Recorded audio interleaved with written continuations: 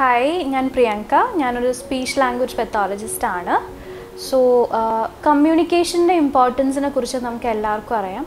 നമുക്ക് നമ്മുടെ ഒരു ആവശ്യം വേറൊരാളോട് പറഞ്ഞ് അത് നേടിയെടുക്കാനും സോഷ്യൽ റിലേഷൻസ് മെയിന്റെയിൻ ചെയ്യാനും ഉണ്ടാക്കാനും ഒക്കെ കമ്മ്യൂണിക്കേഷൻ എത്ര റെലവെന്റ് ആണെന്നുള്ളത് നമുക്ക് എല്ലാവർക്കും അറിയാം. സോ ആ കമ്മ്യൂണിക്കേഷന് ഒരു പ്രോബ്ലം വരുത്തുന്ന രണ്ട് ഏരിയാസാണ് ആണ് സ്പീച്ച് ഇമ്പയർമെന്റും ലാംഗ്വേജ് ഇമ്പയർമെന്റും ഈ സ്പീച്ചിലോ ലാംഗ്വേജിലോ എന്തെങ്കിലും ഇഷ്യൂസ് ഉണ്ടാവുന്ന അത് കാരണം കമ്മ്യൂണിക്കേഷനെ എഫക്റ്റ് ചെയ്യുന്ന കുട്ടികൾക്കും അതുപോലെ തന്നെ മുതിർന്നവർക്കും ട്രെയിനിങ് കൊടുക്കാനും അവരെ ഇവാലുവേറ്റ് ചെയ്യാനും കറക്റ്റായ ട്രീറ്റ്മെന്റ് പ്രൊസീജിയേഴ്സ് ഒക്കെ ചെയ്യാനും ട്രെയിൻഡ് ആയിട്ടുള്ള പ്രൊഫഷണൽസ് ആണ് ഒരു സ്പീച്ച് ലാംഗ്വേജ് പെത്തോളജിസ്റ്റ് ഇതിൽ തന്നെ സ്പീച്ച് ഇമ്പയർമെന്റ് എന്ന് നമ്മൾ സംസാരിക്കുമ്പം അത് ഹൗ ടു ഓഫ് ടോക്കിങ്ങിനെ എഫക്റ്റ് ചെയ്യുന്നതാണ് സ്പീച്ച് അതായത് സ്പീച്ചിന് ആവശ്യമുള്ള കുറച്ച് സ്ട്രക്ചേഴ്സ് ഉണ്ട്. ഇപ്പം ലിപ്സ് ടീത്ത് ടങ്ക് അങ്ങനെ ഒത്തിരി സ്ട്രക്ചേഴ്സ് സ്പീച്ച് പ്രൊഡ്യൂസ് ചെയ്യാൻ വേണ്ടി നമ്മളെ ഹെൽപ്പ് ചെയ്യുന്നുണ്ട്. അതുപോലെയുള്ള സ്ട്രക്ചേഴ്സിനും മസിൽസിനും ഒക്കെയുള്ള കോർഡിനേഷൻ ഡിഫിക്കൽറ്റി അല്ലെങ്കിൽ ആ അവർ അതിന്റെ സ്ട്രക്ചറിനുണ്ടാവുന്ന എന്തെങ്കിലും ഒരു ഡീവിയേഷൻ കാരണമാണ് സ്പീച്ച് എഫക്റ്റഡ് ആവുന്നതെങ്കിൽ അത് സ്പീച്ച് ഇമ്പയർമെന്റ് ആയിട്ട് കാറ്റഗറൈസ് ചെയ്യും. ഇനി അടുത്ത കാറ്റഗറി എന്ന് പറയുന്നത് ലാംഗ്വേജ് ഇമ്പയർമെന്റ് ആണ്. അത് രണ്ട് ടൈപ്പ് ഉണ്ട്. റിസെപ്റ്റീവ് ലാംഗ്വേജ് എക്സ്പ്രസീവ് ലാംഗ്വേജ് എന്ന് വെച്ചാൽ റിസെപ്റ്റീവ് ലാംഗ്വേജ് ടേം കേൾക്കുമ്പോൾ തന്നെ നമുക്ക് മനസ്സിലാവും. മനസ്സിലാക്കുന്ന കാര്യത്തിലായിരിക്കും അവർക്ക് ബുദ്ധിമുട്ട്. നമ്മൾ കൊടുക്കുന്ന കമാൻഡ്സ് ഫോളോ ചെയ്യാനും അല്ലെങ്കിൽ നമ്മളൊരു കാര്യം പറഞ്ഞ് അത് വേറൊരാളുടെ അടുത്ത് പറയാൻ നമ്മൾ അവരെ ഏൽപ്പിക്കുന്ന സമയത്ത് അവർക്കത് കോംപ്രിഹെൻഡ് ചെയ്യാനും പ്രോസസ്സ് ചെയ്യാനും ഒക്കെ ഡിഫിക്കൽട്ടായിരിക്കും എക്സ്പ്രസീവ് ലാംഗ്വേജ് എന്ന് പറയുമ്പോൾ അവർക്ക് പറഞ്ഞ് അവർ ഉദ്ദേശിക്കുന്ന കാര്യം പറഞ്ഞ് ഒപ്പിക്കാൻ അവർ ബുദ്ധിമുട്ടായിരിക്കും. ബിക്കോസ് അവർക്ക് ആ സമയത്ത് റൈറ്റ് വേർഡ്സ് കിട്ടില്ല. അല്ലെങ്കിൽ വേർഡ്സ് കിട്ടുമായിരിക്കും. ഓർഗനൈസ് ചെയ്യാൻ പറ്റില്ല. സെന്റൻസിന്റെ സ്ട്രക്ചർ തെറ്റായിരിക്കും. ഇതൊക്കെ ലാംഗ്വേജ് ഇമ്പയർമെന്റിൽ വരുന്ന കാര്യമാണ്. ഈ സ്പീച്ച് ഇമ്പയർമെന്റ് എന്ന് പറയുമ്പോൾ നിങ്ങൾക്ക് നോട്ട് ചെയ്യാൻ പറ്റുന്ന കുറച്ച് ക്യാരക്ടറിസ്റ്റിക്സ് എന്ന് പറയുവാണെങ്കിൽ ഒന്നെങ്കിൽ സൗണ്ട് പ്രൊഡ്യൂസ് ചെയ്യാനുള്ള ഒരു ഡിഫിക്കൽറ്റി അല്ലെങ്കിൽ ഒരു വേർഡ് പ്രൊഡ്യൂസ് ചെയ്യുന്ന സമയത്ത് ഒരു പെർട്ടിക്കുലർ സൗണ്ട് മാത്രം തെറ്റി പറയുക അല്ലെങ്കിൽ അവസാനത്തെ സൗണ്ട് ഡിലീറ്റ് ചെയ്ത് പോവുക ഒരു എക്സാമ്പിളായിട്ട് നമ്മൾ പറയുവാണെങ്കിൽ ഇപ്പം ആപ്പിൾ എന്നുള്ള വേർഡ് എടുക്കുവാണെങ്കിൽ ചിലപ്പം ആപ്പ് എന്ന് മാത്രമേ പറയുന്നുള്ളൂ. ഫൈനൽ സൗണ്ട് ഡിലീറ്റഡ് ആയി. അല്ലെങ്കിൽ ഒരു സൗണ്ടിന് പകരം മറ്റൊരു സൗണ്ട് വെച്ച് സബ്സ്റ്റിറ്റ്യൂട്ട് ചെയ്യുന്നു. ഇതെല്ലാം സ്പീച്ച് ഇമ്പയർമെന്റ് ആണ്. കാരണം ഇൻ ടേൺ ഇതൊക്കെ കുട്ടികളുടെ ആയാലും മുതിർന്നവരുടെ ആയാലും ക്ലാരിറ്റീനെ എഫക്റ്റ് ചെയ്യുന്നുണ്ട്. സ്പീച്ച് ക്ലാരിറ്റി എഫക്റ്റ് ചെയ്യുന്നുണ്ട്. സോ അത് ഇൻ ടേൺ കമ്മ്യൂണിക്കേഷനെയും എഫക്റ്റ് ചെയ്യും. അതുപോലെ തന്നെ സ്പീച്ചിൽ വരുന്ന വേറൊരു ഇഷ്യൂ ആണ് സ്റ്റാമറിങ് അഥവാ വിക്ക്. നമ്മൾ കോമൺ ആയിട്ട് കാണുന്നതാണ്. ഈ സെയിം വേർഡ് ആപ്പിൾ തന്നെ എടുക്കുകയാണെങ്കിൽ വിക്ക് കാരണം കൊണ്ട് ആപ്പിൾ എന്ന് പറയുന്നതൊക്കെ നമ്മൾ കേൾക്കാറുണ്ട്. അതായത് ആ ഒരു ഹെസിറ്റേഷൻ വരിക അല്ലെങ്കിൽ റിപ്പീറ്റ് ചെയ്ത് പറയുക പ്രൊലോങ് ചെയ്ത് നീട്ടി പറയുക ആപ്പിൾ എന്ന് പറയുക ഇതൊക്കെ എഗൻ ആ ഒരു ഫ്ലോയിനെ എഫക്റ്റ് ചെയ്യുന്നുണ്ട് സ്പീച്ചിനെ അതും ഒരു സ്പീച്ച് ഇമ്പയർമെന്റ് തന്നെയാണ്. ഇതല്ലാതെ വോയിസിൽ ഉണ്ടാവുന്ന ഇഷ്യൂസ് വോയിസിൽ കാറ്റഗറീസ് എന്ന് പറഞ്ഞാൽ പിച്ച് എഫക്റ്റഡ് ആവാം. ആണുങ്ങൾക്ക് യൂഷ്വലി ഉണ്ടാവുന്നത് കുറച്ചൊരു ലോ ലോ പിച്ച്ഡ് ആയിരിക്കും അവർ സ്ത്രീകളാണെങ്കിൽ ഹൈ പിച്ച്ഡ് ആയിരിക്കും. അപ്പം ഇതിലൊരു വേരിയേഷൻ അതായത് ഒരു ടീനേജ് ഒക്കെ കഴിയുന്ന സമയത്ത് നമുക്ക് ഈ ഒരു സൗണ്ടിൽ അല്ലെങ്കിൽ പിച്ചിൽ വേരിയേഷൻസ് വന്നു തുടങ്ങേണ്ട സമയമായി. അപ്പോഴും അത് ചേഞ്ച് ചെയ്തിട്ടില്ല. ഗേൾസ് ബോയ്സിനെ പോലെ അല്ലെങ്കിൽ ബോയ്സ് ഗേൾസിന്റെ സൗണ്ടിൽ ഒക്കെ സംസാരിക്കുന്നു. അല്ലെങ്കിൽ ലൗഡ്നെസ് കറക്റ്റായിട്ടല്ല അവർ മെയിന്റെയിൻ ചെയ്തു പോകുന്നത്. ഇതൊക്കെ വോയിസ് പ്രൊഡക്ഷനെ എഫക്റ്റ് ചെയ്യും ഇൻടേൺ ക്ലാരിറ്റീനെ എഫക്റ്റ് ചെയ്യും. സോ ഈ ഫീച്ചേഴ്സ് ഒക്കെയും സ്പീച്ച് ഇമ്പയർമെന്റ് ഉള്ള ഒരാളിൽ നിങ്ങൾക്ക് ഒബ്സർവ് ചെയ്യാൻ പറ്റിയ കാര്യങ്ങളാണ്. ലാംഗ്വേജ് ഇമ്പയർമെന്റ് ഉള്ള ഒരു ആൾക്ക് നമുക്ക് നോട്ട് ചെയ്യാൻ പറ്റുന്ന കുറച്ച് ക്യാരക്ടറിസ്റ്റിക്സ് ആണ് ഇനി പറയാൻ പോകുന്നത്. ഞാൻ പറഞ്ഞ പോലെ തന്നെ രണ്ട് ഏരിയാസ് ഉണ്ട് ലാംഗ്വേജ് ഇമ്പയർമെന്റിന് ഒന്നെങ്കിൽ അണ്ടർസ്റ്റാൻഡിങ്ങിലായിരിക്കാം ആ ആൾക്ക് ബുദ്ധിമുട്ട് അല്ലെങ്കിൽ എക്സ്പ്രസ് ചെയ്യുന്നതിലായിരിക്കാം ബുദ്ധിമുട്ട്.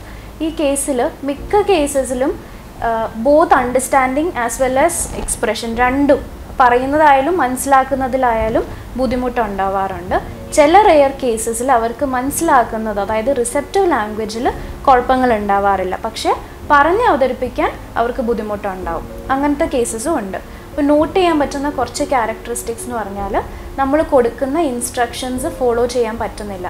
ഇപ്പോൾ കുട്ടികളുടെയൊക്കെ കാര്യം പറയുവാണെങ്കിൽ നമ്മൾ പറയുകയാണ് അടുത്ത റൂമിൽ പോയിട്ട് ഒന്ന് ബാഗ് എടുത്തുകൊണ്ട് വരുമെന്ന് പറഞ്ഞാൽ അവർക്ക് ആ ഇൻഫർമേഷൻ പ്രോസസ്സ് ചെയ്ത് അതിനനുസരിച്ച് ചെയ്തു തരാൻ സാധിക്കുന്നില്ല. അല്ല ഇനി എക്സ്പ്രഷനിലേക്ക് കടക്കുവാണെങ്കിൽ ആവശ്യത്തിനുള്ള വൊക്കാബുലറി ഇല്ല. അവർക്ക് അവരുടെ ആവശ്യങ്ങൾ കൺവേ ചെയ്യാനുള്ള അത്രയും വേർഡ്സ് അവരുടെ ലിസ്റ്റിലില്ല അപ്പം അപ്പം യൂസ് ചെയ്യാനായിട്ട് ഉള്ള വേർഡ്സ് ഉണ്ടാവില്ല. ഇനി കുറച്ച് മുതിർന്ന ആളുകളിലേക്ക് കയറുവാണെങ്കിൽ കോൺസെപ്റ്റ്സ് അതായത് നമുക്ക് കുറച്ച് ലാംഗ്വേജ് കോൺസെപ്റ്റ്സ് ഉണ്ട്. ബിഗ് സ്മോൾ അല്ലെങ്കിൽ ഫാർ നിയർ അങ്ങനെയൊക്കെയുള്ള കോൺസെപ്റ്റ്സ് അവർക്ക് കുറച്ചൊരു ലാഗിലായിരിക്കും വന്നുകൊണ്ടിരിക്കുന്നത്. അതുപോലെ സെന്റൻസ് ഫോർമേഷൻ തെറ്റായിരിക്കും.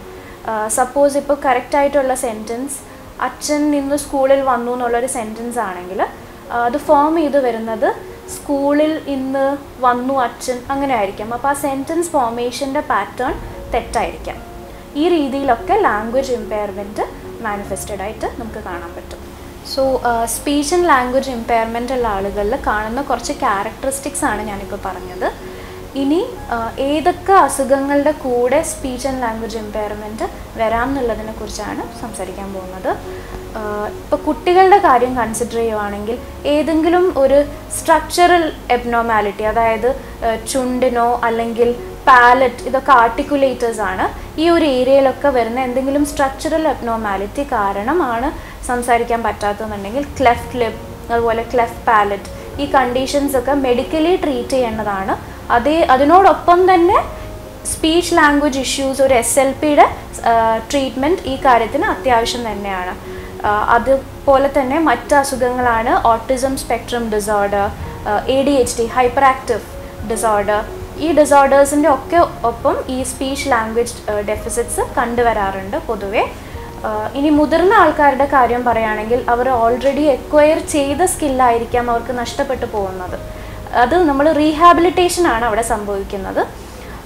ഇപ്പോൾ ഒരു ആക്സിഡന്റ് കേസ് ആക്സിഡന്റ് കഴിഞ്ഞിട്ട് ഒരു ട്രോമാറ്റിക് ബ്രെയിൻ ഇഞ്ചുറി ഉണ്ടായി. ബ്രെയിൻ ഇഞ്ചുറി കാരണം ലാംഗ്വേജിന്റെ ഏരിയ എഫക്റ്റഡ് ആയി ബ്രെയിനിൽ അതുകൊണ്ട് ലാംഗ്വേജ് സ്കിൽസിൽ ഡിഫക്റ്റ് വന്നു. ഈ ഒരു കേസിലും ഒരു സ്പീച്ച് ലാംഗ്വേജ് പെത്തോളജിസ്റ്റിന് റോളുണ്ട് അതുപോലെ തന്നെ സ്ട്രോക്ക് വന്നു. അല്ലെങ്കിൽ ഡിമെൻഷ്യ ഇങ്ങനെ പല പല മെഡിക്കൽ കണ്ടീഷൻസിന്റെ ഒപ്പം വരുന്ന സ്പീച്ച് ലാംഗ്വേജ് ഇഷ്യൂസും ഒരു എസ് എൽ പി തന്നെയാണ് ഹാൻഡിൽ ചെയ്യേണ്ടത്. ഇങ്ങനെ ഏതെങ്കിലും കണ്ടീഷൻസ് നിങ്ങൾ കണ്ടുവരുവാണ് അല്ലെങ്കിൽ നിങ്ങളുടെ റിലേറ്റീവ്സിനോ പ്രിയപ്പെട്ട ആർക്കെങ്കിലോ ഇങ്ങനത്തെ കണ്ടീഷൻസ് കണ്ടുവരുവാണെങ്കിൽ ഡെഫിനറ്റ്ലി ഒരു സ്പീച്ച് ലാംഗ്വേജ് പെത്തോളജിസ്റ്റിനെയാണ് നിങ്ങൾ കൺസൾട്ട് ചെയ്യേണ്ടത്.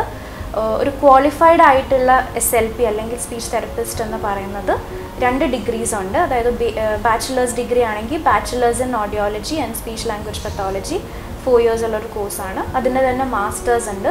Masters in speech language pathology so എപ്പോഴും നമ്മൾ കൺസൾട്ട് ചെയ്യുമ്പോൾ ഈ ക്വാളിഫൈഡ് പ്രൊഫഷണൽസ് ആണോ എന്നുള്ളത് എപ്പോഴും ഒരു ചെക്ക് ചെയ്യുന്നത് നല്ലതായിരിക്കും. അതുപോലെ എവിടെയൊക്കെ എസ് എൽ പീസ് വർക്ക് ചെയ്യും ഡിഫറെന്റ് സെറ്റിങ്സിൽ എസ് എൽ പീസിന് സ്കോപ്പ് ഉണ്ട്. പൊതുവേ നമ്മൾ കണ്ടുവരുന്ന സെറ്റിങ്സ് എന്ന് പറഞ്ഞാൽ സ്കൂൾ ലെവലിൽ ഏർലി ഇന്റർവെൻഷൻ എപ്പോഴും ഏറ്റവും ചെറിയ പ്രായം തൊട്ട് നമ്മൾ ഇന്റർവെൻഷൻ അല്ലെങ്കിൽ ട്രെയിനിങ് കൊടുക്കുന്നതാണ് best so early intervention target ചെയ്തിട്ട് സ്കൂൾസിൽ ഒരു എസ് എൽ പിയുടെ പ്രസൻസ് ഉണ്ടാവാറുണ്ട്. പ്രൈവറ്റ് ക്ലിനിക്സിൽ ഉണ്ടാവാറുണ്ട്. അതുപോലെ ഹോസ്പിറ്റൽസിൽ ഉണ്ടാവാറുണ്ട്. കുട്ടികൾക്കായാലും എഡൽസിനായാലും ട്രീറ്റ്മെന്റ് കൊടുക്കാൻ വേണ്ടി ഹോസ്പിറ്റൽസിലും പ്രൈവറ്റ് ക്ലിനിക്സിലും സ്കൂൾസിലും ഒക്കെ എസ് എൽ പീസിന്റെ പ്രസൻസ് ഉണ്ടാവാറുണ്ട്. ഈ സ്പീച്ച് ലാംഗ്വേജ് ഇഷ്യൂസ് കൂടാതെ ചില ഹോസ്പിറ്റൽസിലൊക്കെ വർക്ക് ചെയ്യുന്ന സ്പീച്ച് ലാംഗ്വേജ് പെത്തോളജിസ്റ്റ് സ്വാലോയിങ് ഇഷ്യൂസും ഡീൽ ചെയ്യാറുണ്ട് ഇതിനോടൊപ്പം തന്നെ. സോ നിങ്ങൾക്ക് എല്ലാവർക്കും ഈ ഒരു ടോപ്പിക്കിനെ കുറിച്ച് ബേസിക് ഐഡിയ കിട്ടിയെന്ന് വിചാരിക്കുന്നു. താങ്ക്